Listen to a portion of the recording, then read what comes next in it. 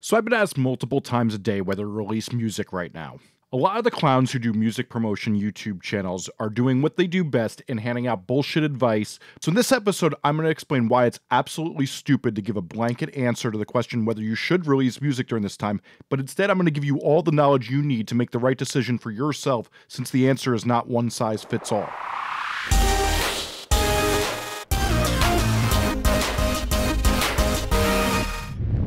Hi, I'm Jesse Cannon, and this is Musformation. And today I'm coming to you from my quarantine office instead of my usual studio, as you can see.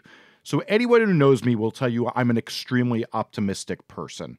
In fact, the fact that I'm even a little bit pessimistic and cautious right now in this video tells you everything you need to know. Since I'm usually a happy go lucky, reckless type of person, and I'm actually taking the time to do this post because I feel the need to warn people since I'm allergic to causing alarm and clickbait bullshit content, but I feel like I have something to say that's unique here. So let's get right to the question.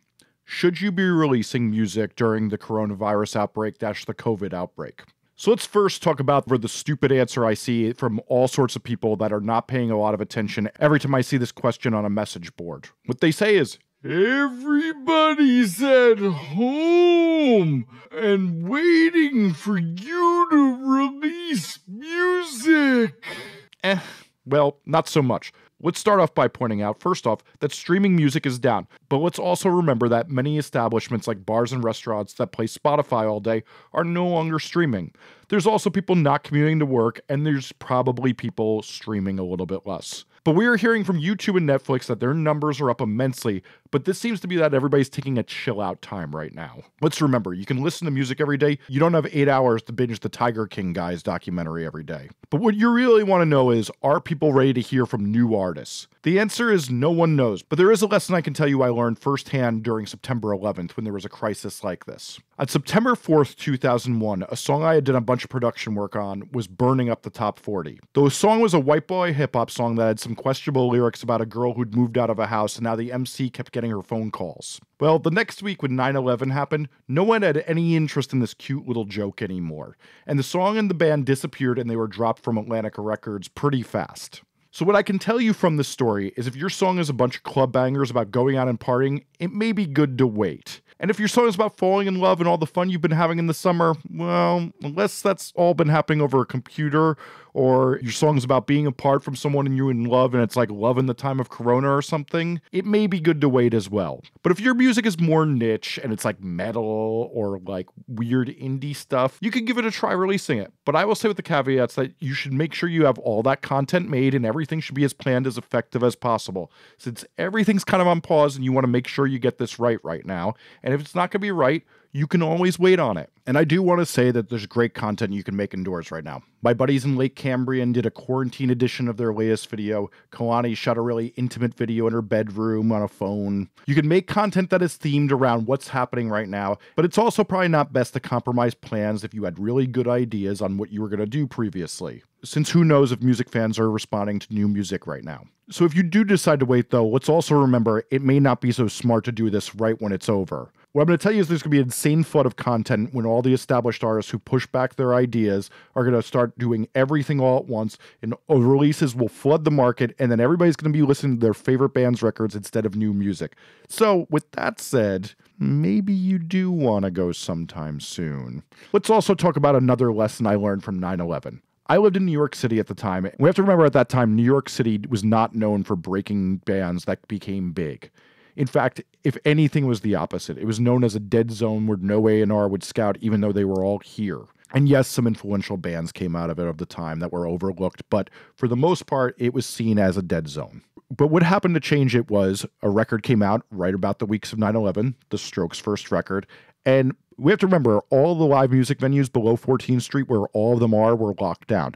And people were grateful for live music again, and it made a huge, huge scene pop up. I was a part of that scene, and the notoriously jaded New York City audiences were all of a sudden having fun again and being grateful for shows but trust me, it didn't last.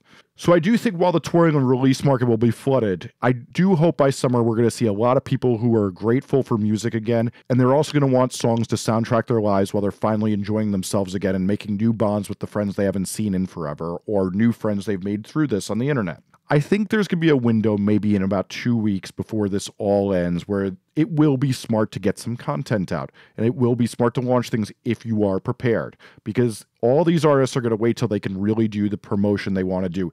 Not everybody's going to be like the 1975 and plan an immersive event to promote their music that's going to shift all their plans that they had for a record release while everybody's in, on their Netflix thing, the content farm is going to run dry at some point. So let's remember you can take advantage of that. So the next question I keep getting is Should I live stream my whole entire life? The answer is unless you're going to make this really entertaining, don't bother doing it since you're competing with the biggest artists right now. As I'm taping this, Dave Grohl and Ben Gibbard are doing theirs right now. All my favorite electronic artists are doing Twitch DJ streams. I want you to remember the question isn't should I live stream or do nothing? There's much more other things that are more effective to do with your time. I'd argue working on your songs, doing some other smart things are way more effective than just grabbing an acoustic guitar and vibing out on camera. Though I will say going live on Instagram or Twitch right now is an amazing thing you could do to bond with the fans that you do have. Doing movie watch parties or music video watch parties or Q&As is working for tons of artists to build bonds with their fans and we always want to be doing that and social media is pretty flooded right now and this is a more effective way to do it since everybody's home. The biggest problem with these things usually are that people aren't home at the same time. Well, everybody's home all the fucking time now. Also, Discord chats are insanely hot right now, and you can set those up for your fans, or if you have almost no fans, make one for your local scene or your micro genre and post them on Facebook groups or Reddits about your genre or micro genre and hang out with people and develop the community you should be developing. I also I feel like if you were going to be great at TikTok, you'd already be on there. But if for some reason you think be great at TikTok and you're not already there, it's surging right now. So get over there and do that as soon as possible. Which leads me to what I would be doing during this time. In a previous video linked below in the description and here on a card in this video, I talk about how I build community and all the people I reach out to whenever I release a new song. If you're going to wait to release your music, you can ensure it goes way further and do simple work each day to find all the people you should be getting your music out to. This is the most effective practice you can do to make sure that this time is spent wisely and effective and will make it so when you come out of this, it can be way bigger. Lastly, I should say for those of you in musical groups that are separated from one another, I just made a video about how to do this time effectively that's linked here as well with your bandmates and without them. Let's remember, science in nearly every big songwriting team these days shows working on improving improving ideas on your own is more effective than doing it with a group all the time. Pass ideas back and forth between computers, get on FaceTime, discuss ideas, but you don't need to be in the same room to get things done. Take this time to work on your songs get better at what you're weak at. For many of us, being forced to be alone can give us the time to do amazing things right now, so take advantage of it and use the hub and spoke method that I talk about in this video. So, to finish things out, the short answer is if you're unsure about releasing your song right now, use this time effectively by finding targets and building up your community and doing other things to bond with fans. Work on your music and make sure that this time sets you up for a better future and don't get depressed and wallow in it. I hope you all keep your heads up and stay healthy through this. Best of luck. That's it. Am I missing anything? Is there any way you would have done this? I need to know your questions and what no one else is telling you, since I want to answer them, so leave them in the comments. I hope you liked this video, and if you did, please like and subscribe and get notified for my future videos, since I'm going to be breaking down the concepts in this video along with tons of others on promoting your music and how to make music you're more happy with. As well, I have a Facebook group that's linked below that is only helpful information. No one tried to sell you anything, playlist or con artists, only helpful information for musicians looking to be better themselves. If you want to learn more about me, make a record with me, or check out any of my books, podcasts, or anything else I do, head to jessecannon.com or at jessecannon on any of the socials. Thanks for watching. One last thing, if you liked this video, there's two playlists here with tons more videos that you'll probably enjoy.